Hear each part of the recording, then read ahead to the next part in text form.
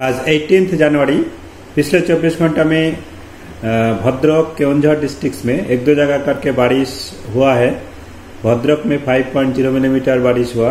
Keonjhar district का घाटकाव 2.1 millimetre Bhadrak का Chandbali 1.0 millimetre Anandpur, Keonjhar district में 1.0 मिलीमीटर केवंझर में 0.7 मिलीमीटर और फॉग हमारा मॉर्निंग आवर्स में आज coastal Vishakha district Angul, Mayurbhanj Keonjhar Sambalpur, Kalahandi, Kandhamal district में हुआ है।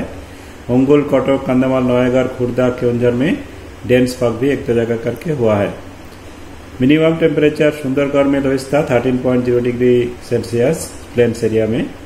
अभी मिनिमम टेम्परेचर जो है, तीन से चार डिग्री तक मेने प्लेसेस में स्वाभाविक से ज़्यादा है। भुवनेश्वर सिटी में मिनिमम टेम्परेचर था 19.5 डिग्री सेल्सियस ये स्वाभाविक से 3.5 डिग्री ज़्यादा था। भुवनेश्वर में मॉर्निंग आवर में शैलो फॉग भी था। अभी अगला पाँच दिन का जो फोरकास्ट हमारा है नेक्स्ट 24 आवर्स में केवंझर मयूरभंज बालासोर भद्रक केंद्रपरा जगत सिंहपुर ये सब डिस्ट्रिक्ट के अंदर में एक दो जगह करके हल्का बारिश हो सकता है। फिर कल से ट्वेंटी सेकेंड तक मीन्स 19, 20, 21, 22 सेकेंड में मोस्टली सभी जगह में ड्राई वेदर रहने का चांसेस है।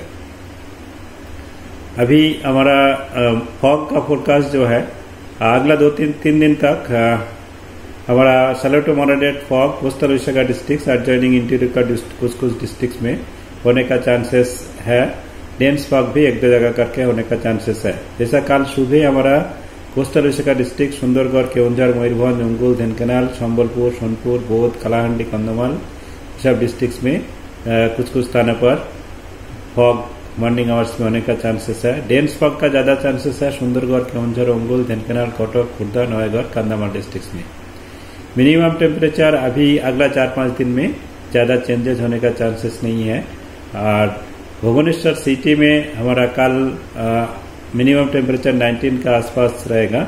वेदर मेनली सुबह मॉर्निंग टावर्स में सलो टू मॉडरेट फॉग होने का चांसेस है आ, कुछ कुछ स्थानों एरिया में।